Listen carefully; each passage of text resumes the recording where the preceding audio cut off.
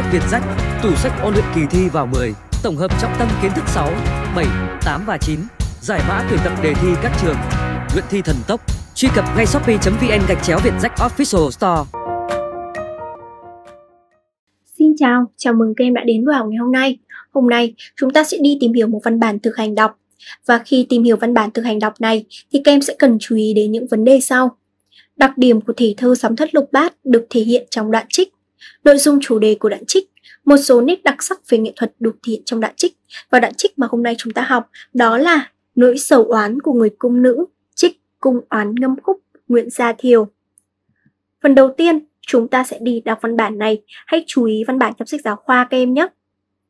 Nỗi sầu oán của người cung nữ, trích cung oán ngâm khúc Nguyễn Gia Thiều.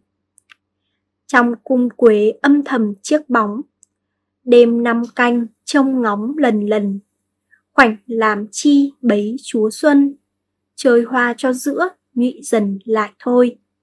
Lầu đãi nguyệt đứng ngồi dạ vũ, gác thừa lương thức ngủ thu phong. Phòng tiêu lạnh ngắt như đồng, gương loan bể nửa, giải đồng xé đôi. Trên đây là phần cô đọc mẫu cho các em nghe. Tiếp theo, chúng ta sẽ đi tìm hiểu thông tin chung về tác giả Nguyễn Gia Thiều. Nguyễn Gia Thiều sinh vào năm 1741, mất vào năm 1798. Ông sống cuối thời vua Lê, chúa Trịnh. Ông xuất thân trong một gia đình quý tộc, có nhiều người làm tướng, làm quan cho triều đình. Phần số 2, ta sẽ tìm hiểu chung thông tin về tác phẩm. Đoạn trích Nỗi sầu oán của người cung nữ thuộc về thể thơ song thất lục bát. Do xứ của văn bản này thì trích ở trong Cung oán ngâm khúc. Và đoạn trích này thì được trích ở trong tác phẩm từ câu 209 đến câu 244. Tác phẩm Cung oán ngâm khúc gồm 356 câu thơ, kể về nỗi ai oán của người cung nữ tài sắc, lúc đầu được nhà vua sủng ái, nhưng chẳng bao lâu đã bị lạnh nhạt. Trong cung cấm, nàng than thở cho thân phận mình và oán trách nhà vua phụ bạc, muốn thoát khỏi cuộc sống để trở về với cuộc đời tự do trước khi vào cung. Nhưng nàng vẫn tiếp tục bị vây hãm trong chiếc lồng son cùng điện, tiếp tục phải ôm những nỗi buồn đau, sầu thảm và oán hờn chất chứa, với hy vọng mong manh đến một ngày lại được nhà vua sủng ái như xưa.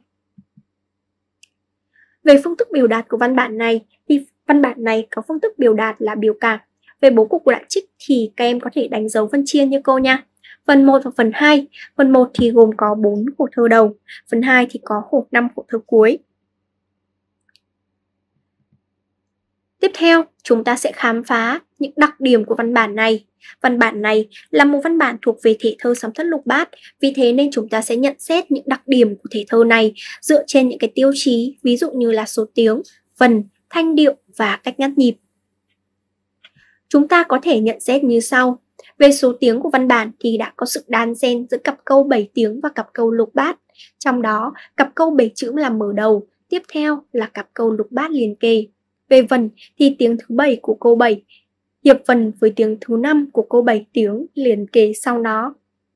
Ví dụ như là bóng, ngóng, vũ, ngủ, tiếng thứ sáu của câu lục hiệp vần với tiếng thứ sáu của câu bát, ví dụ như là thu, cù, sầu, dầu thì đây là cách hiệp vần cơ bản của thể thơ.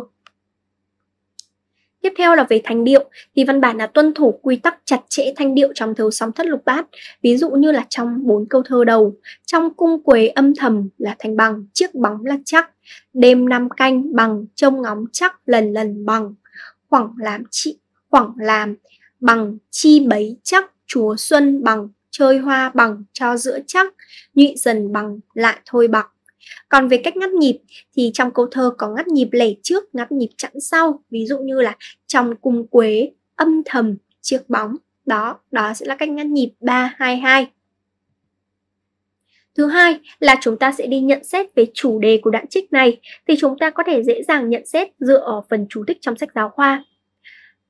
Văn bản nói về chủ đề, bày tỏ nỗi đau khổ về thân phận của người phụ nữ, lòng đong, lật đật, cô đơn của người cung nữ tài sắc khi không được nhà vua sủng ái như xưa. Và thứ ba là một số nét đặc sắc về nghệ thuật của văn bản này. Thứ nhất là nghệ thuật tả cảnh ngụ tình, điều luyện đã đến mức tài hoa. Qua việc miêu tả cảnh vật trong cung quế, nhà thơ đã gián tiếp miêu tả tâm trạng của người cung nữ sầu đau, Thứ hai là biện pháp đảo ngữ độc đáo, ví dụ như gương loan bề nửa, giải đồng xé đôi, vẻ bâng khuâng hồn bướm vẩn vơ. Thứ ba là biện pháp từ từ so sánh, ví dụ như phòng tiêu lạnh ngắt đồng, thâm quê vắng ngắt như tờ. Thứ tư là nghệ thuật dùng từ đặc sắc, giàu biểu cảm. Từ ngữ trong bài thơ được dùng với nhiều tầng nghĩa, chất chứa nhiều cảm xúc khác nhau của người cung nữ. Cuối cùng là chúng ta sẽ chuyển sang phần tổng kết. Một là giá trị về nội dung. Đoạn trích là lời ai oán, than trách của người cung nữ khi phải sống cô đơn trong cung, không được nhà vua yêu mến và gặp phải những hiểm nguy luôn rình rập trong cung. Đồng thời còn là nỗi mong muốn khắc khoải muốn thoát khỏi kiếp cung nữ.